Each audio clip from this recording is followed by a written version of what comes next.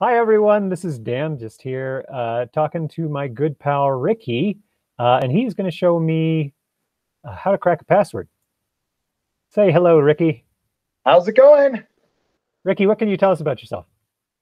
I I'm a systems administrator with some emphasis on security, uh, including a security certification. Special. This stuff is pretty easy, actually. Ricky, we've set up some user accounts with a variety of passwords that you can all see uh, next to this video. And Ricky, you're going to show us how quick and easy it is to crack these on a not so fancy computer system. This computer system is probably no better suited to cracking passwords than yours is. A system, even a system where you drop like five or six hundred bucks into optimizing it would be orders of magnitude, think thousands of times faster. Um, but it in many of these cases, it doesn't really matter that much. So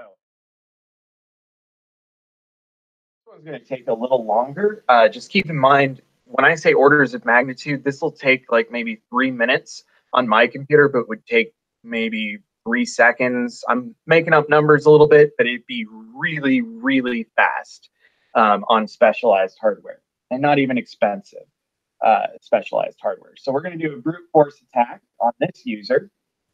You're you're talking about specialized hardware, and um, what you're saying is that's relatively inexpensive for a determined hacker, right?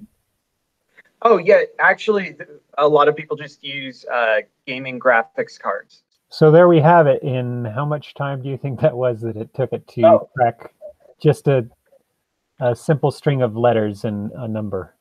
Two or three minutes, and uh, again, it would be seconds, not minutes, on good hardware. Start with uh, what's called dictionary uh, attack.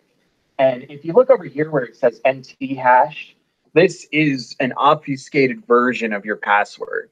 Um, it should be that after going through a mathematical algorithm, your password will match this and only your password will match this. When it comes to creating a password, uh, a hacker, uh, someone who's trying to crack passwords, is going to be using these dictionary lists, and they're also they could also be pulling from uh, Wikipedia, or they could be they could pull in the Holy Quran and Bible verses and and use those as part of their dictionary, right? Absolutely.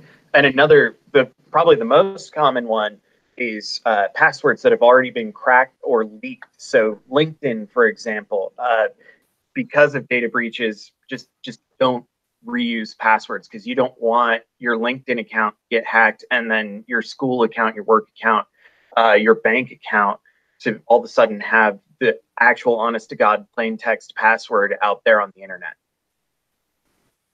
This will just take a second. So this is using dictionaries that just two dictionaries, uh, one with the most common or thousand most common passwords, and the right. other one has just a list of dictionary words. Yes, and of course, if I was in a real world situation, I would have leaked password lists, song lyrics, you know, Wikipedia, Russian dictionary, whatever, mm-hmm. you know. Um, I would also um, be able to generate word lists. Uh, there's an application called Cup with two P's uh, that I can use, and it's like, hey, what's your target's address? What's your target's phone numbers? What's the kids' names of important people in the company? What are names of important people in the company?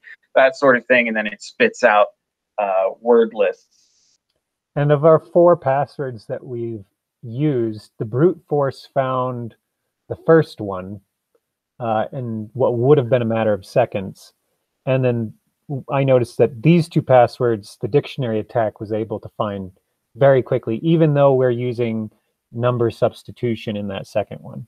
People need to realize that that substitute password looks like it's an okay password, but it's actually worse than a six character random password. So even if we had used symbols as well, like put an exclamation point for the L instead of a one, um, we would probably be seeing on um, higher performing hardware a similar result very quick. Oh.